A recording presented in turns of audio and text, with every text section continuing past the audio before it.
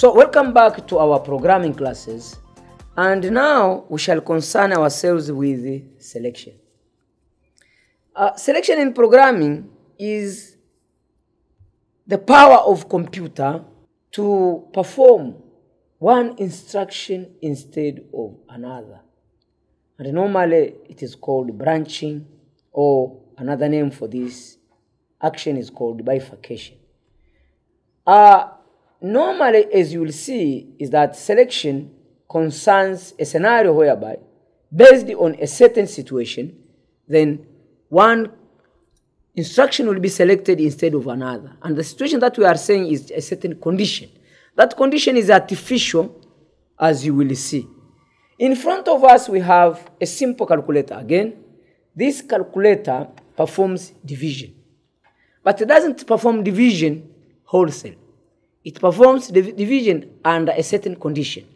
The artificial condition that we have set here is that we want division such that the numerator is always bigger than the denominator, such that the answer will be at least having a certain one whole number, even if it is followed by decimal, but the answer will definitely not be zero. Or it may not be 0 point anything. It is, it may be 2, maybe 2.2, 4.5, or whatever. But for now, because we have only integer types, then the answer will be a whole number which will be which will not be less than one.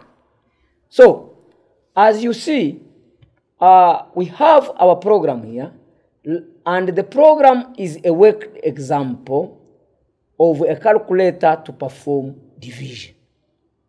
But along with this worked example, we have our RAM diagrams on the right hand side, which shows what is happening in the machine.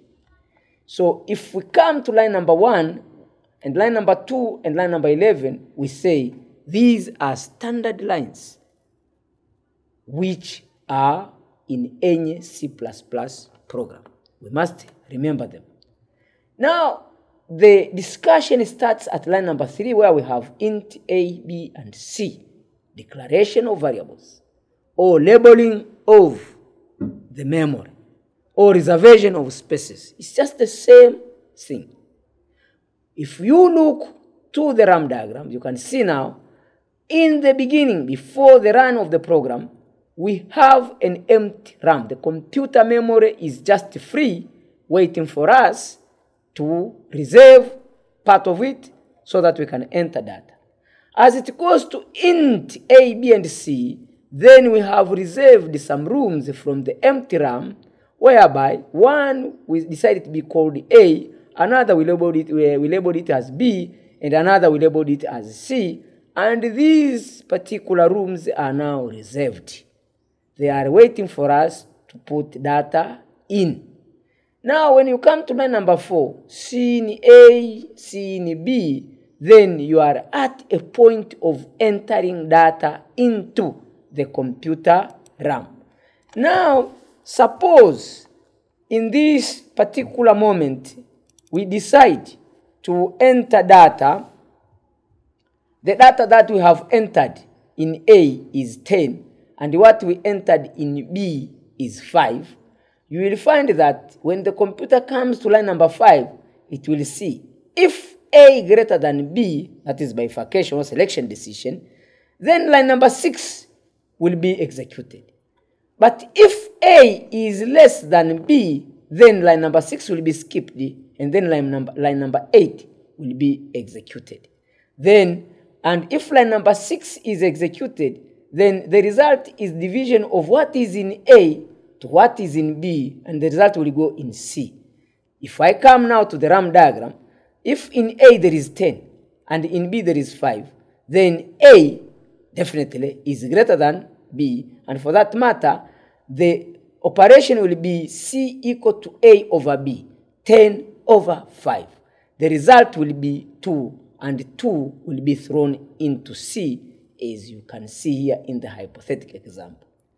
If for example, in A, the number which is in A is smaller than the number which is in B, then it is C will get result of B divided by A. But in this case, with the data that you see in front of your screen, it is 10 to be divided by 5, and the answer will be 2, which will be uh, stored in room C.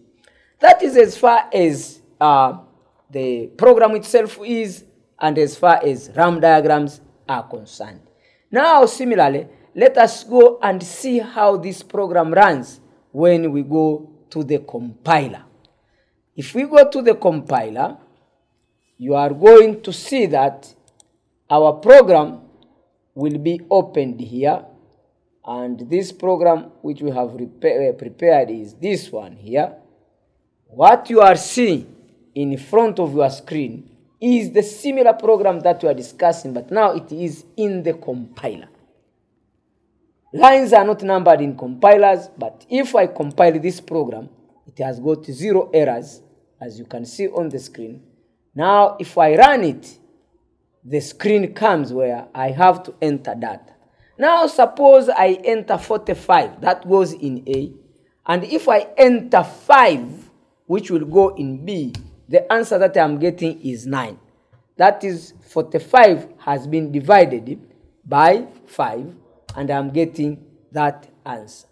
Yet, if I run it again and I enter, let's say 6, that is 6 in A, then I enter 12 in B, I am getting 2 because 12 was divided by 6, which was in A. That means now the branch that was taken was the second line after uh, uh, the else line and not the one which was following the if as we have seen in our slides. So for now, let me invite you in our physical model where we shall discuss this program vividly by mimicking the computer as we did it in the first program.